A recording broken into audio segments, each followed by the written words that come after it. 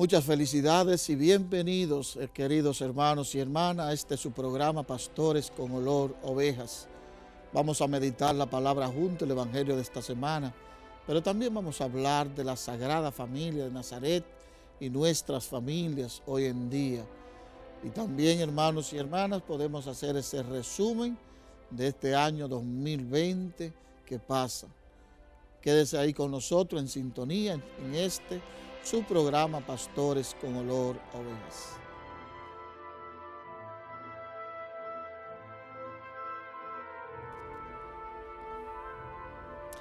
Gracias una vez más, queridos hermanos y hermanas, por su sintonía en este su programa, Pastores con Olor a Ovejas. Felicidades a cada uno de ustedes, felicidades también a toda su familia. Nos ha nacido el Salvador, el Señor nuestro Dios. Hoy estoy acompañado de un hermano y amigo, el padre Franklin Camacho. Padre, bienvenido. muchas gracias, padre, por la invitación. También gracias a ustedes por sintonizar siempre este su programa Pastores con olor a oveja y también le deseo feliz Navidad y un próspero año nuevo. Y que realmente ese año nuevo sea próspero y que podamos salir de esa situación del virus, la pandemia que no crezca, sino que desaparezca. Pues como de costumbre vamos ahora a reflexionar, leer la palabra de Dios, este santo evangelio, y también a reflexionar sobre ella. Lectura del Santo Evangelio según San Lucas, tomado del capítulo 2, versículos 22 al 40. Cuando llegó el tiempo de la purificación según la ley de Moisés, los padres de Jesús lo llevaron a Jerusalén para presentarlo al Señor de acuerdo con lo escrito en la ley del Señor.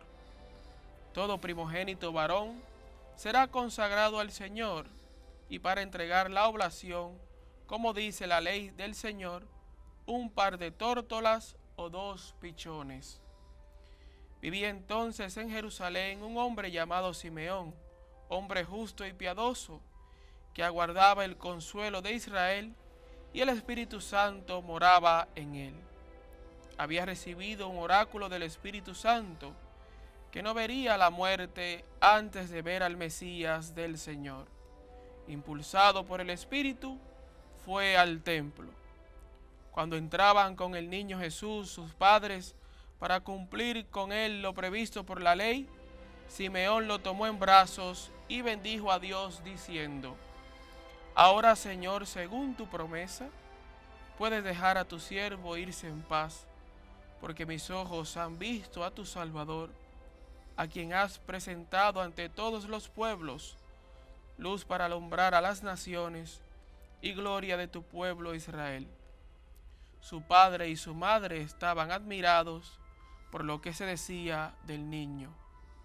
Simeón los bendijo diciendo a María su madre, mira, este está puesto para que muchos en Israel caigan y se levanten.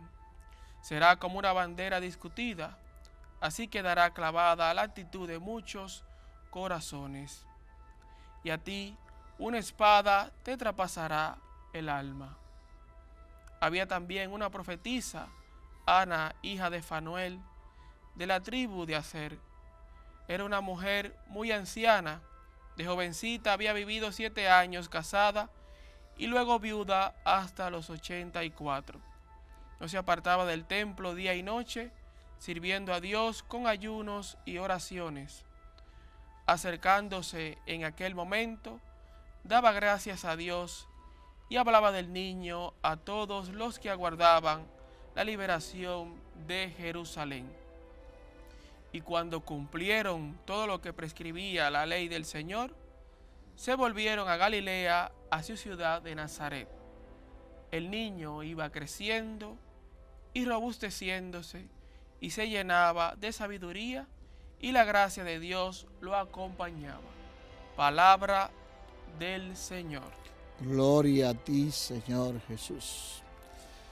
Era costumbre de la familia, la Sagrada Familia de Nazaret, estas peregrinaciones al templo de Israel. Y claro, cuando llegan, precisamente lo que estamos viendo en la pantalla, cuando llegan se cumplen las promesas de los profetas y también se cumple esa promesa cuando el mismo Simeón levanta al niño. Ahora, Señor, puede dejar a tu siervo irse en paz. Van al templo. Todo el mundo llevaba un cordero, un cabrito. Ellos simplemente llevan el niño. Y también como eran de bajos recursos, pues llevaban dos palomitas para sacrificarla, como era costumbre. Y por su sencillez, una familia humilde, sencilla. Si hubiese sido una familia de esas de esas nobles, pues lleva eh, otro animal, pero llevaron esas palomas.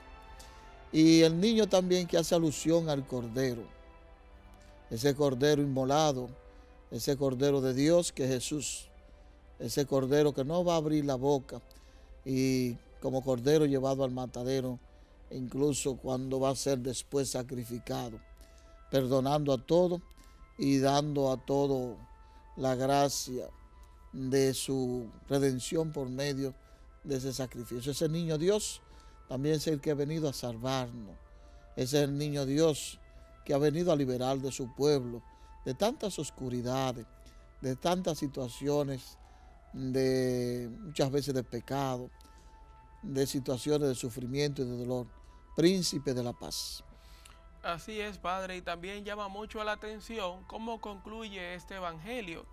O sea, se ve la obediencia de la familia de Nazaret, una familia que cumplía con la ley. Concluye el Evangelio diciendo que cuando cumplieron todo lo que prescribía la ley del Señor, la ley de Moisés, pues entonces volvieron a Galilea, a la ciudad de Nazaret, y que el niño iba creciendo en sabiduría, en estatura y en gracia, es decir, hace ver esa humanidad de Jesús que no es arropada por su divinidad. Jesús creció como todo niño, no como aparece en algunos evangelios apócrifos o en algunas películas que hemos visto que el niño eh, va creciendo como si fuera con superpoderes, haciendo milagros. No, en la sencillez, en la humildad, en una familia normal, va creciendo y educándose el niño Jesús. Y llama mucho la atención la obediencia de José y María a la ley. Una familia que tenía temor de Dios, que el centro de esa familia era Jesús, que también nosotros en nuestra familia el centro sea Jesús. Ellos fueron a presentar al niño al templo porque el centro era Dios en esa familia. Qué bonito que ojalá nosotros también podamos como ellos, obedecer a la ley y poner a Dios como centro de nuestras vidas.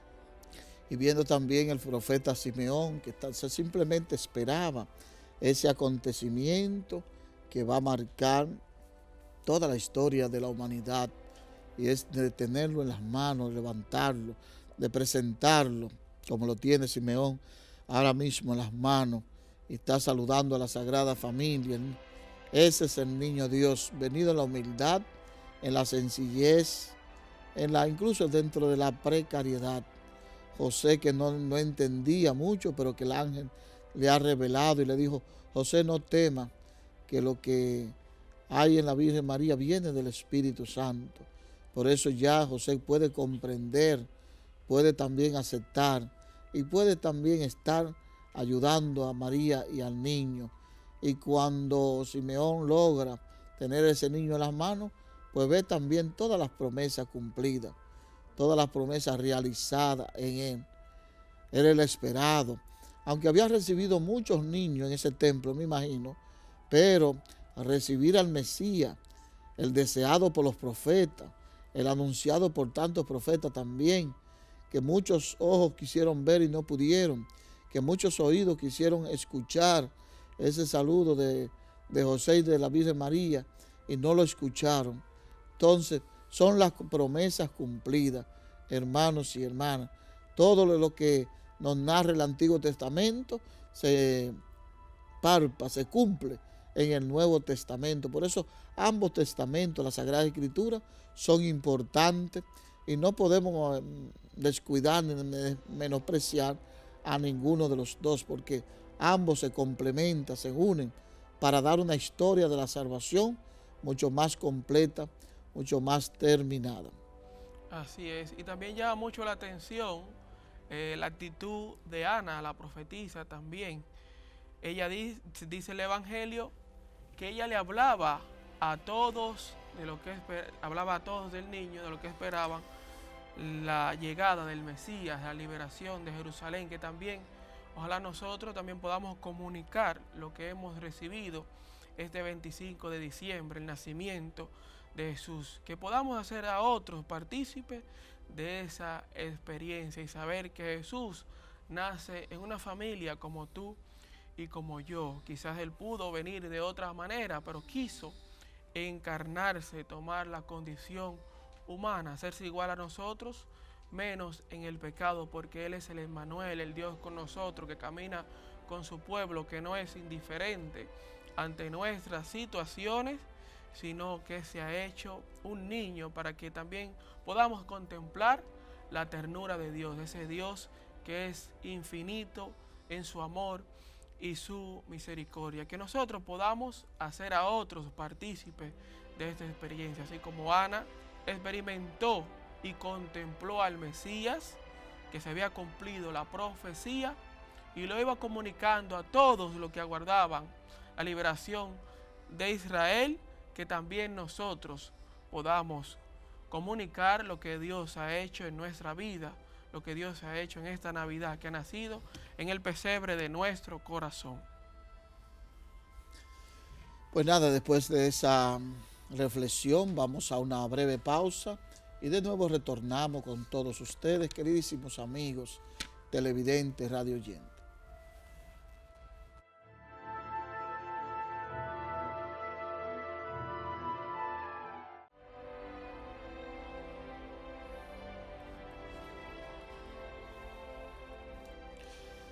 Gracias una vez más, queridos televidentes, radioyentes, amigos y amigas en el Señor. Estamos en este día de Navidad, ya de viviendo la gracia de tener al niño Jesús con nosotros. Estamos también reflexionando sobre la familia. Qué importante la familia, el valor de la familia en este día en que celebramos la Sagrada Familia de Nazaret. Eh, lo bueno es que todos hemos nacido de una familia, todos formamos parte de una familia. Y la familia es muy importante para todos nosotros. Y la iglesia ha puesto en este domingo esta solemnidad, esta fiesta litúrgica de la Sagrada Familia de Nazaret. Padre. Así es. Y también es muy importante resaltar que el año prácticamente concluye con esta es, eh, fiesta de la Sagrada Familia. Y es que el primero que es familia es Dios, la Trinidad, que es comunidad de vida y amor. Y nosotros que somos imagen y semejanza de Dios, también estamos invitados por el amor a formar una familia. Por eso el origen de la familia es divino y por eso el hombre no puede atentar con este proyecto. Y vemos que hoy día hay muchas ideologías que quieren atentar con este proyecto que no es propio de origen humano, sino divino. Dios que ha querido que el hombre no esté solo, sino que mire en los demás el reflejo de su rostro, que los demás son imagen y semejanza de Dios. Claro que sí, Padre, qué bueno cuando el ser humano puede valorar y apreciar eh, su familia. Tantas familias hoy que necesitan todavía reforzar, comprenderse, amarse, cuidarse. La familia es una bendición, es un don de Dios. La familia es tu comunidad, vamos a decir así, que está ahí velando. Cuida a tu familia, no te aparte de ella. No te, no te descuide de ella, siempre esté ahí. A veces no es fácil porque cada miembro de la familia tiene su forma, tiene su carácter incluso. Pero a pesar de todo eso, sigue apoyando, sigue colaborando, sigue poniendo tu granito de arena para que la familia pueda estar más unida e integrada. Qué bueno cuando hay progreso en la familia. Qué bueno es cuando la familia hay una espiritualidad, hay una fe firme, convincente. Qué bueno cuando en la familia también hay unidad, cuando se buscan unos a otros. Hemos celebrado recientemente este 24, Nochebuena, y qué bonito fue ver tantas familias que cenó juntos, a pesar de la situación que estamos viviendo, pero sacó ese tiempo para compartir el pan de la, de la el pan corporal y también el pan espiritual. Esas familias que fueron a la celebración de la Santa Eucaristía, todas juntas, participaron de la Eucaristía y después fueron a su banquete el 24. El 25 también se reunieron y compartieron. Son admirables, es loable, es realmente eh, bonito cuando tú ves esas familias que logran mantener la unidad, a, pesar de que muchas veces hay pensamientos diferentes, el del joven, el del padre, la madre, pero logran mantener esa unidad. Y qué bueno, padre, que las familias se hayan reunido ese día, porque a veces con tanto trabajo, eh, tantas ocupaciones, pues no sacamos ese espacio para reunirnos todos, que debe también sacarse ese tiempo para reunirse, comer juntos, compartir, eh, ver una película, que no todo sea trabajo, porque nos hemos también ensimismado también con la tecnología, a veces cada uno en su mundo, encerrado, y el individualismo destruyendo las familias. Pues qué bien que el niño Jesús viene a unir esos corazones divididos, esos corazones separados que muchas veces viven en una misma casa, pero no hay esa unidad. Es decir, no hay ese, esa armonía que piense, aunque piensen diferente, pero estamos llamados a la unión en la diversidad. Claro que sí, y qué bueno también cuando dentro de la familia, lo que decía el padre, ese momento de recreación, se van de viaje, comparten. Ahora son muchas las familias que se han ido. Claro, y cuando vienen, vienen, pueden ser que vengan cansadas físicamente, pero vienen con un entusiasmo a, nuevamente a comenzar. Esas familias que sacan tiempo para ir a comerse un helado, esas familias que se van a la playa juntas, esas familias que juegan, ¿entiendes? Esas familias que ven una película juntos, como dice el padre, pues son familias que, que son dinámicas. Lo contrario es trabajo, trabajo, trabajo, trabajo, trabajo, trabajo. Y hay personas que simplemente trabajo.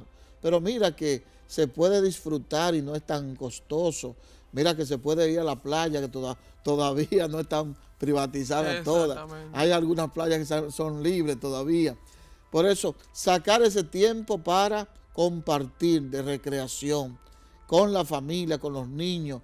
También hay, que sacar también, padre, a los ancianos, las personas mayores. Sí, porque a veces son muy olvidados los ancianos en los hogares. Y recordemos lo que dice la Sagrada Escritura. No olvide a tus padres y a tus madres, aunque ya estén ancianos. Es decir, no olvidarnos de ellos, o sea, no enviarlo a un asilo y, como olvidar esa responsabilidad que tenemos con ellos. Ellos que se entregaron toda su vida por nosotros, que se fueron desgastando, así mismo como vemos que el sirio va desgastándose, dando luz.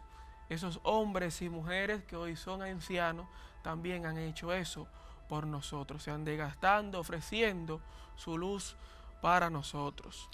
Es lamentable, Padre, ver cómo recientemente se ha aprobado la eutanasia en Europa y se ha aprobado también en Argentina el aborto. Eh, lamentablemente, porque muchas veces esta cultura moderna que el Papa Francisco llama la cultura del descarte, oye, ven en las personas mayores, en el anciano, ya ven, qué sé yo, un gasto. Y realmente no es así para el pueblo de Israel, el pueblo judío. El anciano es venerable, respetable, es una experiencia, son grandes sabios. Esas personas mayores, esos abuelos, sirven para enseñar a los nietos, a los hijos, tienen una sabiduría. Mira eh, lo admirable. Y qué bueno cuando podemos aprender de ellos. Y estas culturas modernas creen como que las personas mayores ya cumplieron su, función y ya son, son un gasto en la familia. No, hombre, tómalo en cuenta. Ve a visitarlos si están en los pueblos. Ve a visitarlos, dale una llamadita, comparte con ellos. llévale un detalle de amor, de cariño, de fraternidad. Entonces, todo eso se puede. La familia hay que cuidarla, la familia hay que valorarla. Estoy reiterando porque ya lo he dicho, pero para que quede bien en, nuestra mente. Eh, es lamentable muchas veces que tú vienes a valorar después que ya no está. Qué sé yo, eh, sufrió un accidente una persona y ya no está, y ahora que tú vienes a valorarlo y a quererlo y a, ponerle mucha flor y muchas cosas, oye, pero quiérenlo en vida, aprécialo, valóralo, búscalo, llámalo a ese pariente tuyo, ese amigo tuyo, ese hermano tuyo, ese familiar. Entonces, qué bueno cuando nosotros podemos hacer, hacer eso antes de y no después de cuando ya no estamos. Así es, es muy triste ver a veces esos ancianos abandonados, que uno se pregunta, ¿y será que no tienen hijos? Cuando uno se acerca a ellos y sus hijos, bueno, eh, ellos casi ni vienen por aquí, es muy triste eso. Y recordemos que Jesús no se olvidó de sus padres, lo que nosotros celebramos en aquella solemnidad de la Asunción de María, recordamos que Jesucristo estuvo presente a su madre y no la abandonó, se la llevó con ella. Así también nosotros no podemos olvidar a nuestros padres, a nuestras madres, a nuestros abuelos, tenerlos siempre presentes porque ellos son el tronco de la familia. Pues entonces a vivir como la sagrada familia de Nazaret. Vamos a una breve pausa y de nuevo retornamos con todos ustedes.